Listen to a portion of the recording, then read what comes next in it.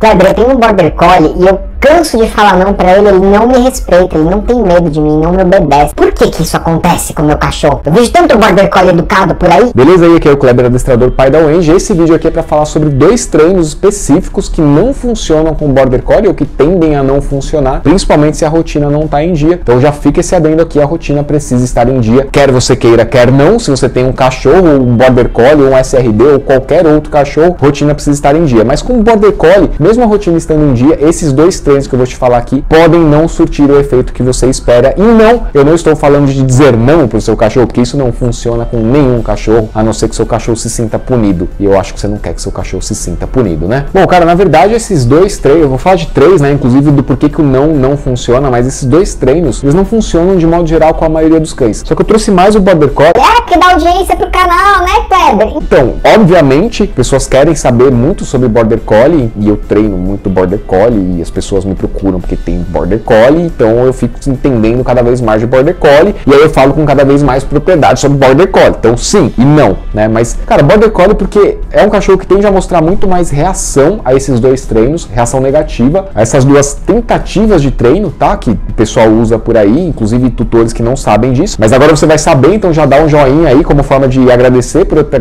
tá aqui gravando esse vídeo para você. É, as pessoas não sabem, tentam fazer e não entendem por que, que não funciona. Eu vou te explicar quais são, por que, que não funciona. Mas vamos primeiro falar do não, cara. O cachorro fez qualquer coisa para você que é inadequada, qualquer coisa que para você é inadequada, você vai e fala não, não pode, e não, e não sei o que lá. Ainda que seu cachorro entenda ou não e ele suspenda a ação temporariamente, eu queria te dar uma notícia aqui. O que seu cachorro está fazendo é o que qualquer mamífero vivo faz. Ele está testando os limites. E a cada vez que ele vai dar uma mordidinha na cadeira, no pé da mesa, por exemplo, você fala não, ele para, ele entende. Hum, não posso fazer isso. Ficou bravo lá comigo. Ficar bravo comigo me gera uma angústia ficar angustiado não é bom para mim, então é melhor eu parar para que talvez parem de falar não para mim. Aí no dia seguinte ele tá nervoso, daqui a meia hora ele tá nervoso, com dor de dente, o que quer que seja, ele vai, volta a morder a cadeira. Ele ouve um outro não, e aí como você assistiu o vídeo do treinador da punição falando que seu não tem que ser bem firme, que assim o cachorro entende, você vai falando um não cada vez mais firme. E o problema de você falar um não cada vez mais firme é que chega uma hora que, tipo, não faz a menor diferença pro cachorro. Então o cachorro mamífero, né, tá testando o limite sem saber que tá testando. Não é como se ele parasse um dia e falasse: Hum, hoje eu vou pegar pra Cristo, mano. Hoje eu vou testar até o último. Não é isso, né? Ele não para fazer essa linha de raciocínio. Ele só é um cachorro sendo cachorro, mamífero, testa limite, é assim que funciona, tá? Então o problema de você ficar falando não cada vez mais firme é que não passa disso. E uma hora o seu cachorro vai entender que. Ah, causa uma versão, mas mano, quer saber? Eu tô com muito mais dor de dente do que esse cara aí me falando não toda hora. Então, meu, eu vou morder o um negócio aqui que se dane. Se tivesse uma linha de raciocínio, seria essa, né? Eu tento traduzir aqui o que o cachorro pensa, né? Eu acho que facilita a tua vida. Então é por isso, um dos motivos pelo qual o cachorro não atende e não respeita ou não, é porque ele já testou todos os limites, sabe que não traz nenhuma consequência mais grave do que você ficar pistola. E você pistola, ele já meio que se acostumou, então que se dane. Agora sim, os dois treinos, né? O primeiro treino que não funciona, meu, com praticamente nenhum cachorro e com certeza não funciona com Border Collie, é o treino do puxão de guia. Qual treino de puxão de guia, cara? É aquele, do puxão de guia, tá? E nem puxão de guia de pescoço, e nem puxão de guia de easy walk, nem puxão de guia de coleira peitoral normal. Vira e mexe. Se o cachorro que tem uma sensibilidade experimenta o mundo com mais intensidade, vídeo nos editor, por favor, não esqueça, você vive esquecendo. Cachorro experimenta o mundo com uma certa sensibilidade que é mais exagerada, digamos assim, entre aspas, uma sensibilidade mais alta em relação a estímulos banais, ele, portanto, tem mais energia que é decorrente de uma cascata de hormônios, que é decorrente de uma série de processos fisiológicos que geram energia nas células, portanto, combustível, ATP, né, para produzir comportamento, então ele tende a puxar cada vez mais a guia e, principalmente, se for o puxão de guia, chega uma hora que acontece o mesmo efeito do não. Não, tanto faz, já me acostumei com isso, deve ser assim que passeia. Isso gera o quadro de desamparo aprendido. De tanto andar com a pressão de guia no pescoço, o cachorro erra toda hora, né? Afinal, ele está aprendendo a andar. Ele se acostuma de pequenininho que puxar no passeio é o que faz ele passear.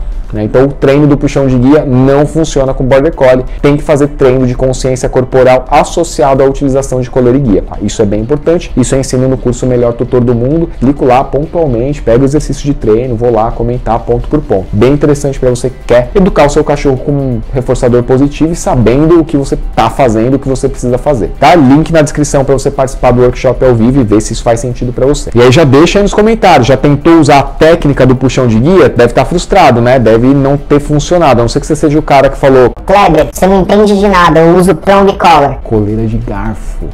Eu vi o vídeo do fulano, não vou falar quem é. Você não entende nada de treino de cachorro. O meu border collie eu usei prong collar. Aí, amigo, porra, bicho. Sinceramente, né? Você tá torturando o cachorro, amigo, é melhor ele te obedecer mesmo, né? Ele não tem muitas opções na vida. Mas se você tentou puxão de guia e você sabe que não deu certo, comenta aí, vamos trocar ideia a respeito disso, né? Fala aí, divide a tua experiência com a galera aí para outras pessoas também falar, pô, realmente, a galera tá falando, então deve funcionar. Agora, um outro treino que é bem interessante e funciona para a maioria dos cães, na maioria dos casos, mas que tende a não funcionar para o Border Collie, exceto se ele tiver uma rotina muito, muito saudável, e isso for feito muito gradativamente, de maneira muito pontual e controlada, né, testada ali para ver a reação desse cachorro, é o treino do marcador negativo, que deveria ser o não, né? Você fala o não é, e fica falando não e, e, falando cada vez mais firme, e o seu cachorro te aprende a te, desrespe te desrespeitar, digamos assim, né? É o marcador negativo deveria ser o não, mas só que o marcador negativo ele é mais do que o não. O marcador negativo ele é um sinal de alerta para que o seu cachorro interrompa uma ação antes dela acontecer ou antes dela trazer a consequência pretendida por ele, sendo que você já percebeu que essa consequência é inadequada. Vamos traduzir essa parada aqui. Eu estou fazendo um treino, por exemplo, de andar sem guia com meu cachorro, com meu border collie. Estou treinando o border collie do meu cliente, já que o Kleber não tem border collie, então não pode falar de border collie, mas eu treino o cachorro do cliente para andar sem guia,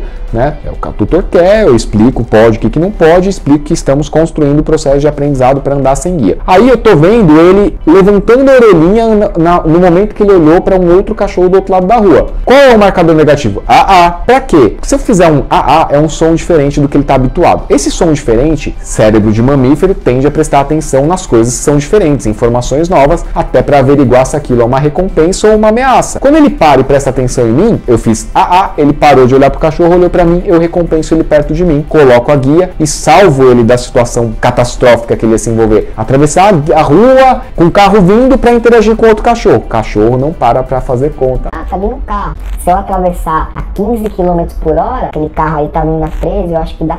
Ver minhas anotações formam aqui e tal. Velocidade versus força igual eixo gravitacional. Não, não, é, não vai fazer, tá ligado? Então o marcador negativo é esse sinal de alerta que pode ser um AA, pode ser um hum, né? Eu faço muitos, muitas vocalizações para chamar a atenção do cachorro e o ponto principal do marcador negativo é que ele tem que trazer uma recompensa para o cachorro. E ele tem que, além de trazer a recompensa, inviabilizar que o erro ocorra. Por que, que com Border Collie tende a não funcionar, Kleber? Porque a rotina de Border Collie tem que estar tá muito em dia. E a rotina de qualquer cachorro muda conforme as fases de vida. E sendo um Border Collie um cachorro sensível como é, cada fase de vida, a mudança da rotina precisa ser mais pontual, ela precisa ser mais assertiva, ela não pode demorar muito para ter a sua adequação. Se essa rotina não tem a adequação que esse indivíduo espera, quando eu entro com o marcador negativo, essa informação que deveria representar ameaça ou oportunidade, ela não tem valor nenhum. Por quê? Porque aquilo que ele visualizou, olhou para o cachorro, mexeu a orelha na direção do cachorro, tende a produzir um valor para ele muito maior do que essa potencial ameaça ou uma potencial oportunidade. Entende esse ponto? Então a rotina precisa funcionar. Do contrário, o marcador negativo não vai trazer o resultado que você espera. E principalmente, eu já te expliquei como usa o marcador negativo em poucas palavras, porque as pessoas não sabem usar o marcador negativo. Entra com o marcador negativo, o cachorro atende ao marcador negativo e não é recompensado por isso. O que é o mesmo erro que a maioria das pessoas comete ao fazer o comando vem. Fala vem toda hora, às vezes até vem para tomar remédio, vem para dar banho, coisas que o cachorro sabidamente não gosta. Você sabe que seu cachorro, não você você, mas o tutor sabe que o cachorro não gosta de tomar banho, ouve o comando vem, atende ao comando vem, consequência de atender ao comando vem é uma coisa que ele não gosta. Outro uso inadequado do marcador negativo, né, é o que? Chamar o cachorro pelo nome no momento que ele quer uma outra coisa. Chama o cachorro pelo nome, não recompensa e aí traz uma consequência ruim para o cachorro. Às vezes até uma briga, uma punição, uma, um, um monólogo, né? Para de fazer isso, te pedi para não fazer isso. Blá, blá, blá, o cachorro atendeu ao nome, devia ser recompensado, ao invés disso é punido, né? Então, esse tipo de utilização uh, do marcador negativo da forma correta, como eu acabei de explicar aqui, é o que deveria acontecer também para um comando vem ou quando você chama o seu cachorro pelo nome. Então, me diz aí também, né? Aproveita o campo de comentários. Já tentou usar o marcador negativo e percebeu que não funcionava? Já tentou usar o não e percebeu que não estava funcionando? Entendeu agora por que, que não estava funcionando? Deixa aí nos comentários, divide a tua experiência aqui comigo. Espero que você tenha gostado desse vídeo. Espero que esses vídeos sobre, não só sobre Border Collie, pelo amor de Deus, mas os vídeos do canal, de modo geral, não todos, mas a maioria, espero, estejam te ajudando a entender melhor o seu papel como tutor, o seu papel ao prover as necessidades básicas do seu cachorro. As necessidades básicas têm que ser funcionais, não podem ser disfuncionais. Então me deixa saber se os vídeos estão te ajudando. Campo de comentários ou pelo menos dá um joinha aí, já vai ter grande valor aí, já ajuda o vídeo a ganhar mais visibilidade para o algoritmo do YouTube e vem mais gente aqui pro canal para aprender sobre cachorro e quem sabe, meu, nos próximos 10 anos a gente não consegue transformar a cultura pet no Brasil. Cara, o sonho é poder entrar com a Wendy em qualquer lugar, sacou? Muito massa, como se a gente estivesse na Europa, né? Seria muito incrível se isso pudesse acontecer. Só vai acontecer se você compartilhar esse vídeo, deixar o joinha, comentar, se inscrever no canal, fazer isso aqui bombar. Um abraço, a gente se vê no próximo vídeo, até mais.